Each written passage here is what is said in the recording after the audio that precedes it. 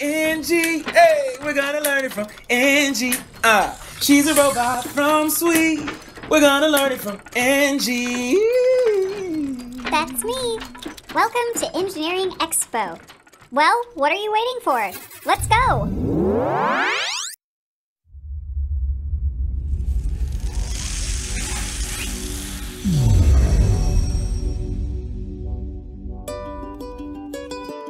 Hi, my name's Elena. I'm a process engineer at Nitride Solutions and a member of the Engineering Expo Committee. And this is Angela. Hi, I'm Angela, and I'm a stress engineer at Spirit Aerosystems, and I'm also on the Engineering Expo Committee. Today, we're going to do an experiment called whale blubber. And here is a list of the materials you need.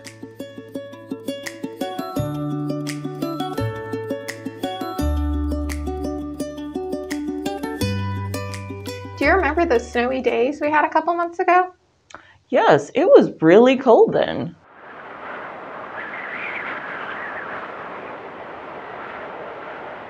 Well, did you know some animals live in temperatures like that year round? Oh, do you mean like polar bears or whales? Exactly. They have a layer of fat that helps keep them warm. Okay. In this bowl, we have a small example of the ocean. Do you want to see how warm it is by putting your hand in it? Sure, it looks really cold though. Let's see. Oh, it is so cold! Well, we don't have a lot of insulation on our hands, so you really can feel how cold that water is. Mm-hmm. Wait, what's insulation? Insulation is a layer of material that helps keep warm things warm and cold things cold. Today, we're going to do an experiment to see how a layer of fat can help you stay warm in water. So, what are we going to use for a layer of fat in our experiment? We're going to use Crisco. We commonly use it in baking. What about all this other stuff on the table? Well, I have some color changing spoons. You want to test them out? Okay. Put them in the water. Whoa! Look at that. Oh, look how it changed color because the water's so cold.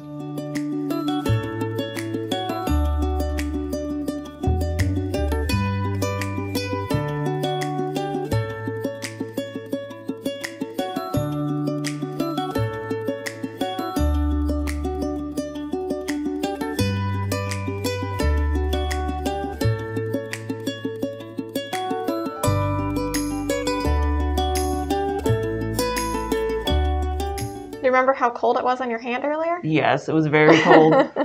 well, let's figure out a way to get your hand warmer. okay. Grab yourself a bag, Mm-hmm. turn it inside out. Like this. Okay. Then what?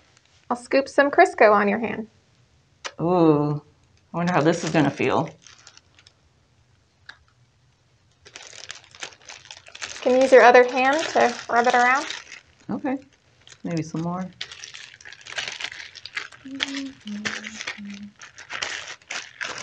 It's pretty gooey. The heat of your hand will help warm and spread the Crisco a little.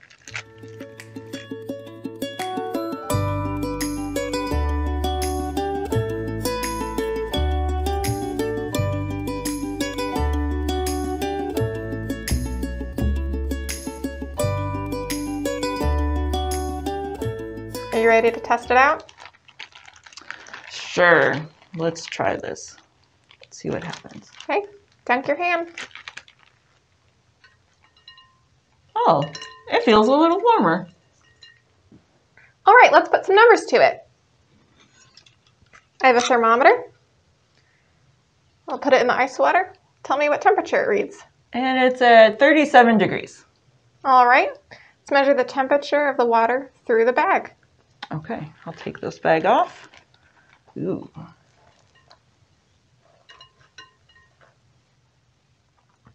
Is it warmer? It is. It's uh it's still going 47 degrees. So it's about 10 degrees warmer. Cool. So that's about the difference between like the morning when it's cool out and you wear your jacket, but by the afternoon it's warm enough to take your jacket off. Awesome. So maybe a thicker layer of fat would keep it even warmer. Okay. Today we learned about insulation. Insulation is a layer of material that keeps warm things warm and cold things cold. We used Crisco to help protect your hand from cold water. And some other things we can use for insulation are our coats and a lunchbox. So now it's time to get out your engineering notebook to answer a couple of questions. First, what are some things you can use to insulate yourself and keep yourself warm?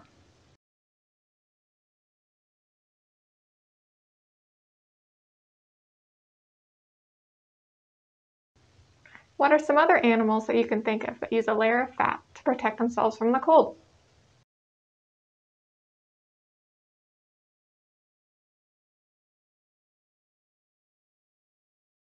Thanks for testing whale blubber with us. We had a great time.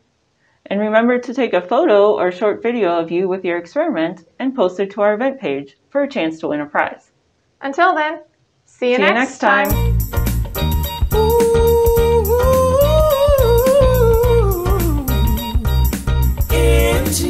We're gonna learn it from Engie. We're gonna learn it from And I must also say, I want to say. I'm stressed. We're gonna learn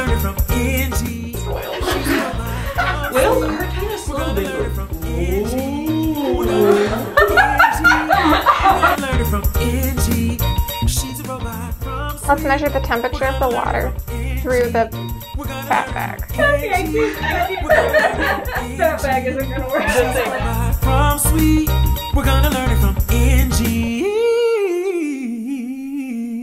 That's me. Thanks for joining us today. See you next time.